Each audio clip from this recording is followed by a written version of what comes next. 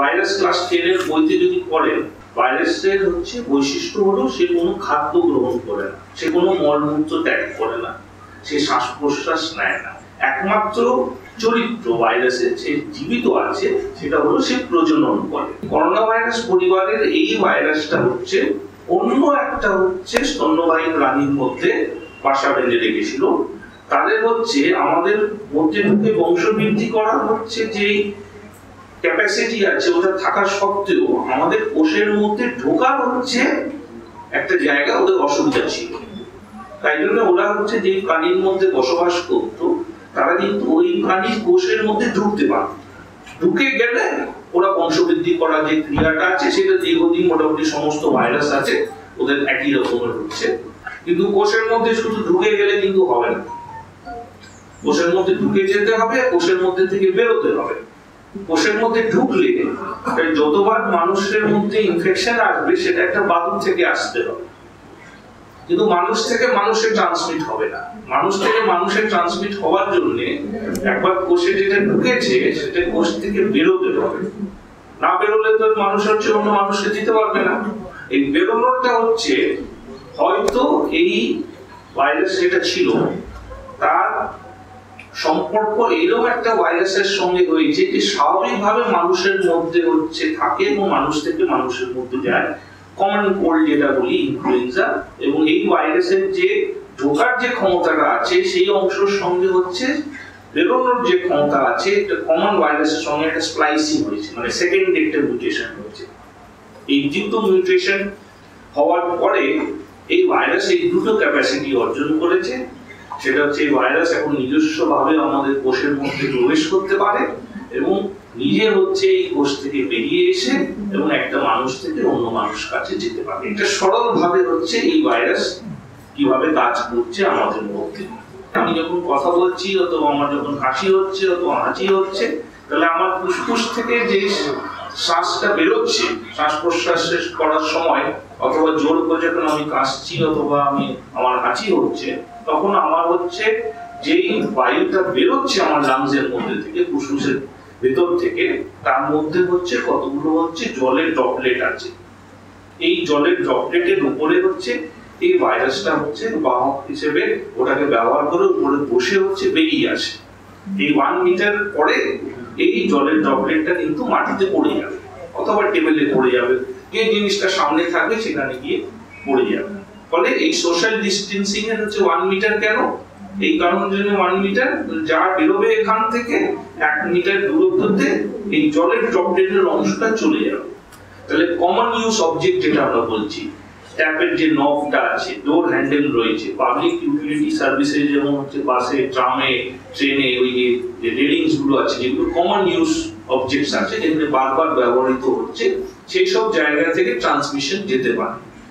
এবং তাই জন্য আমরা দ্বিতীয় কথা বলছি, সেটা হচ্ছে regular hand wash behaviour modification কি বলছি? নিজের হাত হচ্ছে মুখের দিকে নিয়ে আসবেন না। এটা মাইন্ডসেট করে দেবেন, আমি হচ্ছে হাত মুখের কাছে নিয়ে আসব না। তাহলে কমন ইউজ অবজেক্ট থেকে যদি আমার কন্টামিনেট হয়ে গিয়ে থাকে হাত, আমি হাত যদি মুখে না নিয়ে যাই, তাহলে এই ভাইরাসটা আমার সিস্টেমের মধ্যে প্রবেশ করতে পারবে না। এই ভাইরাসটা কিন্তু মানুষ থেকে মানুষের কাছেই যাবে। মানে একজন যে ইনফেক্টেড তার কাছ থেকেই যাবে ইনফেক্টেড এর মানে নয় যে সে রোগাগ্রস্ত হবে। সাব ক্লিনিক্যাল পপুলেশন কিন্তু যে কোনো হচ্ছে ভাইরাল ডিজিজে হচ্ছে অনেক অনেক বেশি। তার জ্বরও হবে না, তার কাশিও হবে না, তার মোশনও হবে না, তার হচ্ছে গলায় হচ্ছে শুকনো কাশিও হবে না। কিন্তু সে ইনফেক্টেড কিন্তু তার কোনো ক্লিনিক্যাল সিমটম হয়নি। ফলে সোশ্যাল আইসোলেশন হচ্ছে যখন আমাদের হচ্ছে যারা ইনফেক্টেড আছে, প্রমাণিত ইনফেক্টেড এর পরিসংখ্যানটা বাড়বে তাহলে ধরে নিতে হবে, তার থেকে অনেক গুণ বেশি হচ্ছে আনইনফেক্টেড লোকজন সমাজের মধ্যে ঘুরে বেড়াচ্ছে। ফলে এই যে নির্দেশিকা আসছে যে হচ্ছে আপনি বাড়িতে থাকুন, তার মূল কারণ হচ্ছে যে আপনি হচ্ছেন যে ইনফেক্টেড আছে, তার তার সিমটম যদি না থাকে, আমরা বুঝতে পারব না। যে তার রোগ আছে, সে আদৌ পরীক্ষার জন্য যাবেও না এবং তার কোনোদিন পরীক্ষা হবে না, কিন্তু ওর হচ্ছে কোভিড নাইন্টিন হয়ে শেষও হয়ে যাবে শরীরের মধ্যে। কিন্তু যতদিন ও ইনফেক্টেড এবং হচ্ছে সে হচ্ছে রোগ দিতে পারে, ও কিন্তু আরও দশ জন পনেরো জন কুড়ি জন পঞ্চাশ জনকে রোগ দিয়ে দিতে পারে। যে মানুষের শরীরের মধ্যে প্রবেশ করেছে, মোটামুটি দু সপ্তাহের মধ্যে ওই ভাইরাসটা কিন্তু ওই মানুষের শরীর থেকে নির্মূল হয়ে যায়, ফলে অন্য একটি নতুন মানুষের শরীরের মধ্যে যেন না পৌঁছতে পারলে এই গোটা ভাইরাসের বংশটা কিন্তু হচ্ছে শেষ হয়ে যায়। চীন হচ্ছে খুব গুরুত্বপূর্ণ ভাবে এটাকে আটকাতে পারল। কি করে আটকাতে পারল? যখন এটা ছড়ালো, তখন চীনের সরকার বলল হচ্ছে, যারা যারা উহান শহরে আছে এবং পার্শ্ববর্তী এলাকার মধ্যে তুমি ঘরে থাকো, তুমি বেরোবে না। খাবার আমি তোমার কাছে পৌঁছে দিচ্ছি। এটা সব থেকে গুরুত্বপূর্ণ। যখন আপনি সেলফ আইসোলেশন অথবা সেলফ কোয়ারেন্টাইনে পরামর্শ দিচ্ছেন, তাহলে মানুষকে যদি খাবার যদি আমরা না পৌঁছে দিতে পারি, এই সেলফ আইসোলেশন এবং হচ্ছে সেলফ কোয়ারেন্টাইন হচ্ছে মূল্যহীন হয়ে যায়। লোক তো খাবারের জন্য বেরোবে, আর কিসের জন্য বেরোবে? যেহেতু সিনেমা দেখতে তো বেরোবে না, সব সিনেমা হল বন্ধ। যেহেতু শপিং মলে কাপড় কিনতে বেরোবে কিন্তু দুপুরের খাবার যদি না থাকে, তাহলে ও বাড়িতে কি করবে? কোনো লোক তো বাড়িতে বসে থাকতে পারবে না।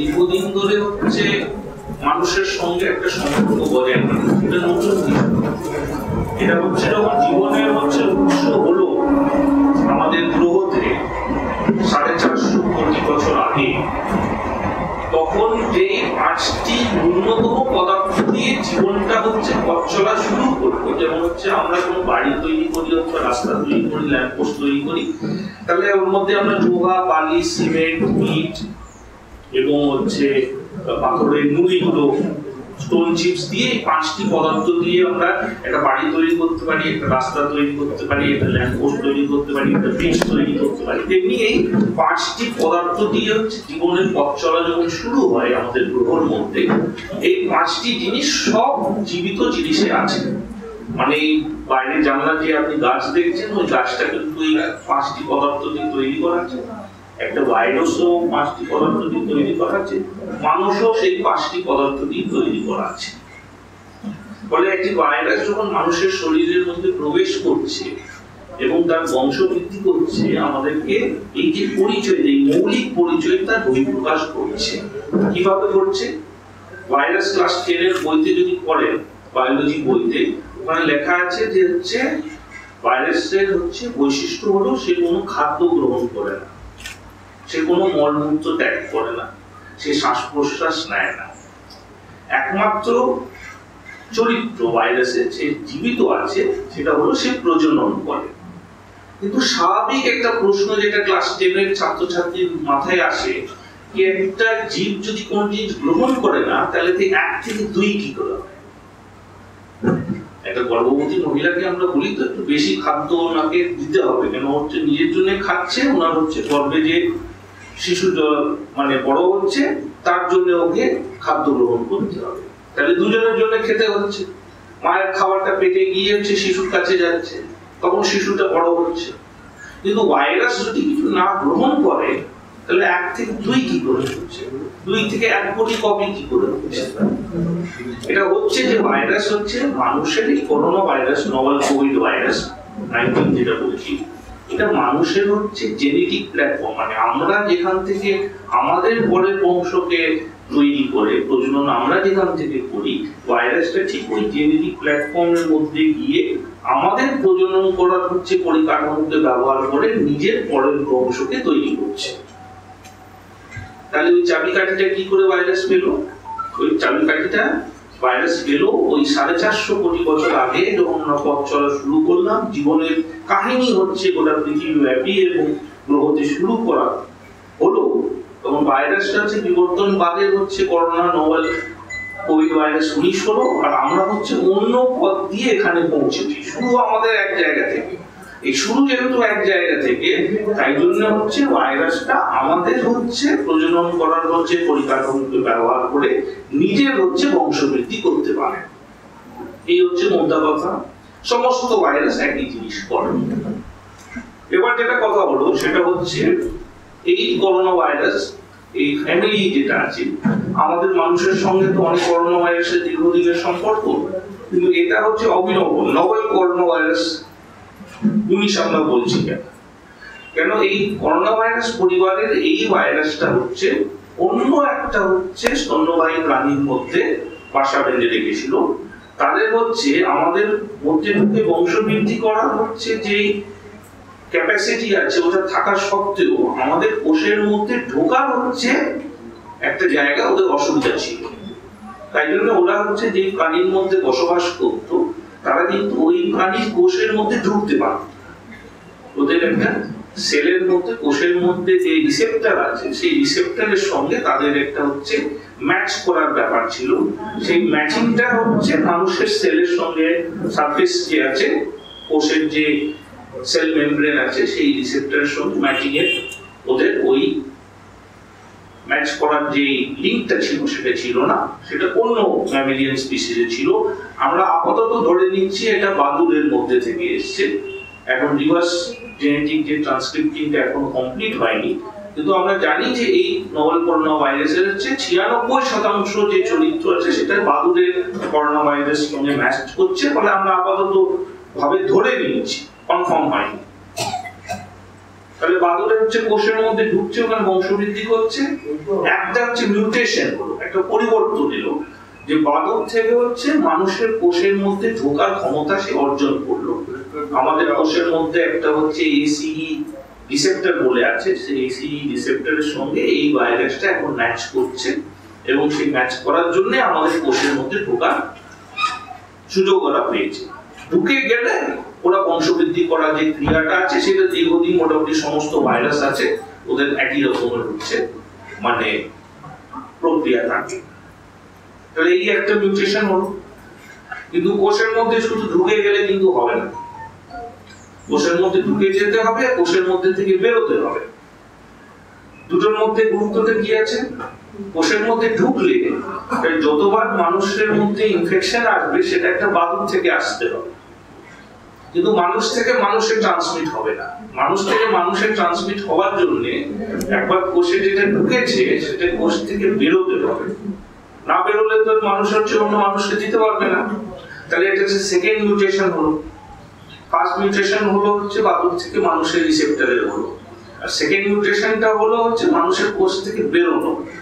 এই বেরোনোটা হচ্ছে হয়তো এই ভাইরাস যেটা ছিল, তার সম্পর্ক এরকম একটা ভাইরাসের সঙ্গে হয়েছে যে স্বাভাবিকভাবে মানুষের মধ্যে হচ্ছে থাকে এবং মানুষ থেকে মানুষের মধ্যে যায়। কমন কোল্ড যেটা বলি ইনফ্লুয়েঞ্জা এবং এই ভাইরাসের যে ঢোকার যে ক্ষমতাটা আছে, সেই অংশের সঙ্গে হচ্ছে বেরোনোর যে ক্ষমতা আছে, একটা কমন ভাইরাসের সঙ্গে একটা স্প্লাইসিং হয়েছে মানে সেকেন্ড একটা মিউটেশন হয়েছে। এই দুটো মিউটেশন হওয়ার পরে এই ভাইরাস এই দুটো ক্যাপাসিটি অর্জন করেছে। সেটা হচ্ছে এই ভাইরাস এখন নিজস্ব ভাবে আমাদের কোষের মধ্যে প্রবেশ করতে পারে এবং নিজে হচ্ছে এই কোষ থেকে বেরিয়ে এসে এবং একটা মানুষ থেকে অন্য মানুষ কাছে যেতে পারে। এটা সরল ভাবে হচ্ছে এই ভাইরাস কীভাবে কাজ করছে আমাদের মধ্যে। বাকিটা যেটা বললাম, কোষের মধ্যে ঢুকে গিয়ে কোষের মধ্যে নিজের বংশ বৃদ্ধি করা, এটা হচ্ছে সমস্ত ভাইরাস আছে, সমস্ত ভাইরাসের চরিত্র। শুধুমাত্র নভেল কোভিড ভাইরাসের নয়, সাধারণ সর্দি কাশি হোক, আপনার হেপাটাইটিস বি হেপাটাইটিস সি হোক, আপনার করোনা ভাইরাস হোক, আপনার এইচআইভি ভাইরাস হোক, যে কোনো যে কোনো ভাইরাসের কথা বললে তাদের বংশ বৃদ্ধি করার হচ্ছে, এইরকমই হচ্ছে গল্পটা আছে এবার হচ্ছে এই যে মানুষ থেকে মানুষের মধ্যে যাচ্ছে, কীভাবে যাচ্ছে? এটা সাধারণভাবে আমাদের যেটা আগেই বলে দেওয়া হয়েছে এটা ড্রপলেট ইনফেকশনের মধ্যে থেকে যাচ্ছে।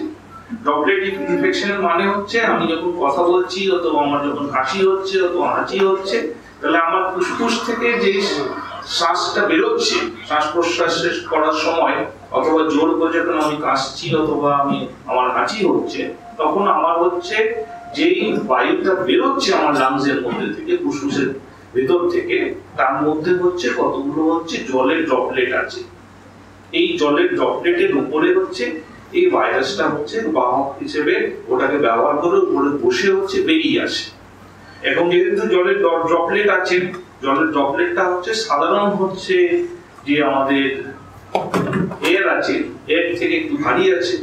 ভারী থাকলে সে আস্তে আস্তে ক্রমশ মাটির দিকে চলে যাবে। ফলে এই ট্রিজেক্টরিটা হচ্ছে ওয়ান মিটার যখন হাঁচ- হলো তখন কাশলাম তখন এই জলের ড্রপলেটটা হচ্ছে বেরিয়ে আস্তে আস্তে মাটির দিকে পড়ে যায়। এই ট্রেজেক্টরি হচ্ছে ওয়ান মিটার এই ওয়ান মিটার পরে এই জলের ড্রপলেটটা কিন্তু মাটিতে পড়ে যাবে, অথবা টেবিলে পড়ে যাবে। যে জিনিসটা সামনে থাকবে, সেখানে গিয়ে পড়ে যাবে। ফলে এই সোশ্যাল ডিস্টেন্সিং এর হচ্ছে ওয়ান মিটার কেন? এই কারণের জন্য ওয়ান মিটার যা বেরোবে এখান থেকে, এক মিটার দূরত্বতে এই জলের ড্রপলেটের অংশটা চলে যাবে। কার্বন ডাইঅক্সাইডটা অন্য জায়গায় চলে যাবে নাইট্রোজেন অন্য জায়গায় চলে যাবে সে আলাদা জলের সমস্ত ড্রপলেটগুলো মোটামুটি এক মিটারের দূরত্বতে মাটিতে গিয়ে পড়ে যাবে। এই হচ্ছে ট্রেজেক্টরি তাই জন্য সোশ্যাল ডিস্টেন্সিং হচ্ছে। ওয়ান মিটার মেনটেন করা উচিত। আরেকটা কি চরিত্র আছে? সেটা হচ্ছে এই করোনা ভাইরাসে আমরা এখন অব্দি হচ্ছে শরীরের বাইরে বেরিয়ে গেলে তার সার্ভাইভাল কতটা আছে আমরা জানি না। কিন্তু আন্দাজে অন্যান্য করোনা ভাইরাসের সঙ্গে কম্পেয়ার করে যেটা আমরা বুঝতে পারছি দু তিন ঘণ্টা থেকে পাঁচ থেকে সাত দিন অবধি এই ভাইরাসটা কিন্তু শরীরের বাইরে বেঁচে থাকতে পারে। অন্যান্য করোনা ভাইরাসের সঙ্গে আমরা এটাকে তুলনা করছি। এই নভেল কোভিড নাইন্টিনের মানে একেবারে প্রমাণিত কতদিন বেঁচে থাকবে আমরা জানি না। কিন্তু যে কথাটা বললাম যে আমি ধরে নিয়েছি বাদুর থেকে এসছে। তাহলে বাদুরের মধ্যে করোনা ভাইরাসের আমাদের একটা অংশ আছে এবং মানুষ থেকে মানুষের ট্রান্সমিট করার একটা অংশ। এই দুটো মিলিয়ে ভাইরাসটা হয়েছে। তাহলে মানুষের মধ্যে যে করোনা ভাইরাস ইনফ্লুয়েঞ্জা ভাইরাস, যেটা হচ্ছে ম্যান টু ম্যান ট্রান্সমিশন করার জন্য সাহায্য করে, তার কতগুলো তথ্য আমরা এক জায়গায় করেছি। এবং বাদুরের হচ্ছে যে করোনা ভাইরাস আছে তার তথ্যগুলো আমরা একত্রিত করেছি। এই দুটো মিলিয়ে আমরা বলছি দু ঘণ্টা থেকে পাঁচ থেকে সাত দিন এটা থাকতে পারে ব্যাক ক্যালকুলেশন করছি। তাহলে কি করতে হবে? তাহলে কমন ইউজ সার্ভিস ধরুন একজন ব্যক্তি হচ্ছে করোনা ভাইরাস পজিটিভ আছে। তার হাঁচি হলো, তার কাশি হলো, সে কোনো সতর্কত অবলম্বন পালন করেন। হাতে না, এসেছে, সে আস্তে আস্তে দরজায় হ্যান্ডেল ধরেছে। তাহলে ও করোনা ভাইরাস দরজা হ্যান্ডেলে চলে গেছে। তাহলে কমন ইউজ অবজেক্ট যেটা আমরা বলছি ট্যাপের যে নবটা আছে ডোর হ্যান্ডেল রয়েছে পাবলিক ইউটিলিটি সার্ভিসে যেমন হচ্ছে বাসে ট্রামে ট্রেনে ওই যে যে রেলিংসগুলো আছে, যেগুলো কমন ইউজ অবজেক্টস আছে, যেগুলো বারবার ব্যবহৃত হচ্ছে সেই সব জায়গা থেকে ট্রান্সমিশন যেতে পারে। এবং তাই জন্য আমরা দ্বিতীয় কথা বলছি, সেটা হচ্ছে রেগুলার হ্যান্ড ওয়াশ নিয়মিত, দিনে হচ্ছে অকারণে আপনি কিন্তু হ্যান্ড ওয়াশ করবেন। আপনি জানেন না যে আপনি কতগুলো কমন ইউজ অবজেক্ট ইউজ করেছেন। আপনি টেবিলে হাত দিয়েছেন, দরজা খুলেছেন, আপনি হচ্ছে বাসে উঠেছেন অটোতে উঠেছেন ট্রেনে উঠেছেন। কমন ইউজ অবজেক্টসগুলো আপনার সব সময় আমরা ইউজ করি, একাধিক মানুষ হচ্ছে সেটা ইউজ করি। নাহলে আমাদের পাবলিক স্পেসে আমাদের কিছু কর- করতে পারব না। তাহলে যে কমন ইউজ অবজেক্টস গুলোকে পরিষ্কার রাখা এক নম্বর, তার থেকে আরও গুরুত্বপূর্ণ হচ্ছে নিজের হাতটাকে পরিষ্কার রাখা। বিহেভিয়ার মডিফিকেশন কি বলছি? নিজের হাত হচ্ছে মুখের দিকে নিয়ে আসবেন না। এটা মাইন্ডসেট করে দেবেন। আমি হচ্ছে হাত মুখের কাছে নিয়ে আসব না। তাহলে কমন ইউজ অবজেক্ট থেকে যদি আমার কন্টামিনেট হয়ে গিয়ে থাকে হাত, আমি হাত যদি মুখে না নিয়ে যাই, তাহলে এই ভাইরাসটা আমার সিস্টেমের মধ্যে প্রবেশ করতে পারবে না। তাহলে এই যুক্তিতে হচ্ছে দুটো পরামর্শগুলো যেগুলো হু দিচ্ছে, সেটা হচ্ছে রেগুলার হ্যান্ড ওয়াশিং অ্যান্ড তিন নম্বর হচ্ছে, সেটা হচ্ছে আমাদের এই মুখের দিকে হচ্ছে হাতটা না নিয়ে আসা। হ্যাঁ চোখ, নাক এবং মুখের মধ্যে যদি হাতটা চলে আসে, তাহলে এই ভাইরাসটা আমাদের সিস্টেমের মধ্যে প্রবেশ করতে পারে। যেহেতু মূলত করোনা ভাইরাসগুলো হচ্ছে রেসপিরেটরি ভাইরাস মানে আমাদের শ্বাস প্রশ্বাসের যে প্রণালীটা আছে, যে মিউকাস মেমব্রেনটা আছে, তার মধ্যে থেকে আমাদের শরীরের মধ্যে প্রবেশ করে। এর বাইরে আমরা কি বলছি? আমরা বলছি সেলফ কোয়ারেন্টাইন এবং হচ্ছে সোশ্যাল কল্ড আইসোলেশন এই ভাইরাসটা কিন্তু মানুষ থেকে মানুষের কাছেই যাবে। মানে একজন যে ইনফেক্টেড তার কাছ থেকেই যাবে। কিন্তু ইনফেক্টেড এর হচ্ছে ফার্স্ট মানে ক্রাইটেরিয়া আছে। ইনফেক্টেড এর মানে নয় যে সে রোগাগ্রস্ত হবে। সাব ক্লিনিক্যাল পপুলেশন কিন্তু যে কোনো হচ্ছে ভাইরাল ডিজিজে হচ্ছে অনেক অনেক বেশি। তার জ্বরও হবে না, তার কাশিও হবে না, তার মোশনও হবে না, তার হচ্ছে গলায় হচ্ছে শুকনো কাশিও হবে না। কিন্তু সে ইনফেক্টেড কিন্তু তার কোনো ক্লিনিক্যাল সিমটম হয়নি।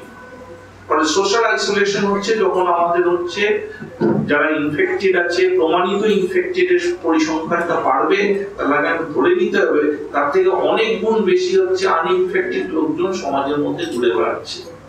ফলে এই যে নির্দেশিকা আসছে যে হচ্ছে আপনি বাড়িতে থাকুন, তার মূল কারণ হচ্ছে যে আপনি হচ্ছেন যে ইনফেক্টেড আছে, তার তার সিমটম যদি না থাকে, আমরা বুঝতে পারব না। যে তার রোগ আছে, সে আদৌ পরীক্ষার জন্য যাবেও না এবং তার কোনোদিন পরীক্ষা হবে না, কিন্তু ওর হচ্ছে কোভিড নাইন্টিন হয়ে শেষও হয়ে যাবে শরীরের মধ্যে। কিন্তু যতদিন ও ইনফেক্টেড এবং হচ্ছে সে হচ্ছে রোগ দিতে পারে, ও কিন্তু আরও দশ জন পনেরো জন কুড়ি জন পঞ্চাশ জনকে রোগ দিয়ে দিতে পারে। ফলে সোশ্যাল আইসোলেশনের একটা হচ্ছে ইম্পর্টেন্ট রোল আছে। কিন্তু কবে ওই রোলটা আছে? ওই রোলটা হচ্ছে যখন সমাজের মধ্যে একটা মানে বড় সংখ্যক হচ্ছে রুগী পজিটিভ আছে। সেটা গ্রেড টু থেকে গ্রেড থ্রিতে যখন কনভার্ট হচ্ছে গ্রেড টু থেকে গ্রেড থ্রি কনভার্ট করার মানে কি আছে? এখনও অবধি ভারতবর্ষে এখানকার বাসিন্দার এখনও পজিটিভ কোভিড নাইন্টিন হয়নি। ভারতবর্ষের মাটিতে কাদের হয়েছে? তাদের হয়েছে যারা বিদেশ থেকে এসছে, যারা বিদেশি আছে, অথবা ভারতীয় যারা বিদেশ ভ্রমণ করে ফেরত এসেছে। তারা এখানে এসে এই কোভিড নাইন্টিন ভাইরাসটা এখানকার স্থানীয় বাসিন্দাকে দিয়েছে, এখন অব্দি সেরকম কোনো প্রমাণ আসেনি। ফলে লোকাল ট্রান্সমিশনটা এখনও আমরা পাইনি ভারতবর্ষে। ফলে আমরা গ্রেড টু তে আছি। কিন্তু আমরা যতটা সতর্কতা অবলম্বন করব, তত কিন্তু আমরা এই গ্রেড টু থেকে গ্রেড থ্রি হচ্ছে পরিবর্তনটাকে আমরা আটকাচ্ছি। তাহলে regular hand washing social isolation এবং হচ্ছে সেলফ কোয়ারেন্টাইন করা, এইগুলো হচ্ছে গুরুত্বপূর্ণ দিক। শেষ যেটা হচ্ছে পরামর্শ, তার বৈজ্ঞানিক ভিত্তিতে কি আছে? যদি কোনো মানুষ কোনো কোভিড নাইন্টিন ব্যক্তির কন্ট্যাক্টে এসছে, কোনোভাবে, তাহলে উনাকে সঙ্গে সঙ্গে স্বাস্থ্য পরিকাঠামোর সঙ্গে হচ্ছে যোগাযোগ করা উচিত। কেন? স্বাস্থ্য পরিকাঠামো তখন তার উপরে নজরদারি রাখবে, তাকে অ্যাবসলুট কোয়ারেন্টাইনের মধ্যে রেখে দেবে। অথবা হোম কোয়ারেন্টাইনের মধ্যে রেখে দেবে অথবা আইসোলেশনে রেখে দেবে। কেন আমরা কি জানলাম এই রোগের সম্বন্ধে? আমরা জানলাম যে এই রোগটি হচ্ছে শুধু একটি ইনফেক্টেড মানুষের কাছ থেকে একটা আনইনফেক্টেড মানুষের কাছে যেতে পারে। তাই কিছুটা হচ্ছে সেলফ ডিসিপ্লিন হওয়ার প্রয়োজন। আমরা ইতিমধ্যে আমরা দেখেছি পশ্চিমবাংলায় যিনি ফার্স্ট কোভিড নাইন্টিন পেশেন্ট আছে উনি কিন্তু এই সেলফ ডিসিপ্লিন মেনটেন করেননি। কোভিড নাইন্টিন কিন্তু গ্রামের যে হচ্ছে চাষি আছে, সে চাষ করতে গেছে মাঠে সে ধরে কোভিড ধরে নিয়ে চলে এসেছে, বাড়ির মধ্যে তা কিন্তু হবে না। একজন শ্রমিক হচ্ছে, ইট ভাটার হচ্ছে চলে গেছে মানে ইট ভাটাতে হচ্ছে কোভিড নাইন্টিন কে বহল দাওয়া করে এনে হচ্ছে ছড়িয়ে দিচ্ছে, তা কিন্তু হবে না। কোভিড নাইন্টিন ভারতবর্ষে আসবে বিদেশ থেকে। ফলে বিদেশ থেকে আমাদের জাহাজ আসছে, এই জাহাজ এরোপ্লেন বোর্ড প্যাসেঞ্জার ছাড়া কিন্তু কোভিড নাইন্টিন ভারতবর্ষে আসার কোনো সম্ভাবনা নেই। ফলে আমরা একটা গেটওয়ে জেনে নিয়েছি। ফলে এই গেটওয়েটা যখন আমরা জেনে নিয়েছি, যারা হচ্ছে ফেরত আসবে, তাদেরকে হচ্ছে খুব সতর্ক ভাবে হচ্ছে তাদের পার্সোনাল যে ডিসিপ্লিন আছে, সেটা মেনটেন করতে হবে, সরকারকে সেটা তদারকি করতে হবে। এর বাইরে আমরা দেখলাম যে চীন হচ্ছে খুব গুরুত্বপূর্ণ ভাবে এটাকে আটকাতে পারল। কি করে আটকাতে পারল? যখন এটা ছড়ালো তখন চীনের সরকার বলল হচ্ছে যারা যারা উহান শহরে আছে এবং পার্শ্ববর্তী এলাকার মধ্যে তুমি ঘরে থাকো, তুমি বেরোবে না, খাবার আমি তোমার কাছে পৌঁছে দিচ্ছি। এটা সব থেকে গুরুত্বপূর্ণ। যখন আপনি সাইড সেলফ আইসোলেশন অথবা সেলফ কোয়ারেন্টাইনের পরামর্শ দিচ্ছেন তাহলে মানুষকে যদি খাবার যদি আমরা না পৌঁছে দিতে পারি, এই সেলফ আইসোলেশন এবং হচ্ছে সেলফ কোয়ারেন্টাইন হচ্ছে মূল্যহীন হয়ে যায়। লোক তো খাবারের জন্য বেরোবে, আর কিসের জন্য বেরোবো? যেহেতু সিনেমা দেখতে তো বেরোবো না, সব সিনেমা হল বন্ধ। যেহেতু শপিং মলে জামা কাপড় কিনতে বেরোবে কিন্তু দুপুরের খাবার যদি না থাকে, তাহলে ও বাড়িতে কি করবে? কোনো লোক তো বাড়িতে বসে থাকতে পারবে না। একদিন হয়তো হচ্ছে না খেয়ে একটা হচ্ছে উপোস উপোস কিছু একটা পালন করবে, কিন্তু দ্বিতীয় দিনের পর থেকে তো লোক তো বেরোবে খাবার শর্ত তাহলে এটাই হচ্ছে policy basis policy basis of self isolation mass quarantine হচ্ছে যে খাবারটা যেন হচ্ছে যে পপুলেশন এই সেলফ আইসোলেশন এবং কোয়ারেন্টাইন মধ্যে যাচ্ছে, তাদেরকে হচ্ছে সঠিকভাবে পৌঁছে দেওয়া। যারা হাই রিস্ক আছে, তাদেরকে একেবারে হচ্ছে স্টেরাইল ভাবে খাবারটা পৌঁছে দেওয়া যেন যে খাবার পৌঁছে দিচ্ছে, সে যেন আবার ও ভাইরাসটা না পিক আপ করে। যারা আদারওয়াইজ সেলফ কোয়ারেন্টাইনের মধ্যে আছে, তাদেরকে অন্যভাবে সতর্কতা অবলম্বন করে খাবার পৌঁছে দেওয়ার প্রয়োজন। এবং এই দুটো জিনিস করলেই কোভিড নাইন্টিনকে আমরা সম্পূর্ণ শেষ করতে পারব। কেন? কোভিড নাইন্টিন এরকম একটি ভাইরাস যে মানুষের শরীর ছাড়া কিন্তু বাঁচতে পারে না। যে মানুষের শরীরের মধ্যে প্রবেশ করেছে, মোটামুটি দু সপ্তাহের মধ্যে ওই ভাইরাসটা কিন্তু ওই মানুষের শরীর থেকে নির্মূল হয়ে যায়। ফলে অন্য একটি নতুন মানুষের শরীরের মধ্যে যেন না পৌঁছতে পারলে এই গোটা ভাইরাসের বংশটা কিন্তু হচ্ছে শেষ হয়ে যায়। ফলে এই জায়গাটা যদি আমরা হচ্ছে সচেতন ভাবে হচ্ছে পৃথিবীব্যাপী এটা যদি করি, তাহলে এই কোভিড নাইন্টিন ভাইরাসটাকে আমরা শেষ করতে পারব। যেমন হচ্ছে আমরা অতীতে স্মল পক্সকে শেষ করতে পেরেছি, যেমন হচ্ছে আমরা পোলিও ভাইরাসটাকে শেষ করতে পেরেছি। আমরা অন্য একটা রোগ আছে টেটুকুলোসিস মেডিনেন্সি যেটা ভারতবর্ষে হচ্ছে একটি সাংঘাতিক ভাবে লোকজনকে রোগাগ্রস্ত করতো, তাকে আমরা নির্মূল করতে পেরেছি। তেমনি কোভিড নাইন্টিনকেও আমরা নির্মূল করতে পারব এই সংক্ষেপে আপনাদের সামনে কোভিড নাইন্টিনের সম্বন্ধে এবং তার সতর্কতার যে ভিত্তিটা আছে, বৈজ্ঞানিক ভিত্তিটা আছে, সেটা আপনাদের সামনে রাখলাম।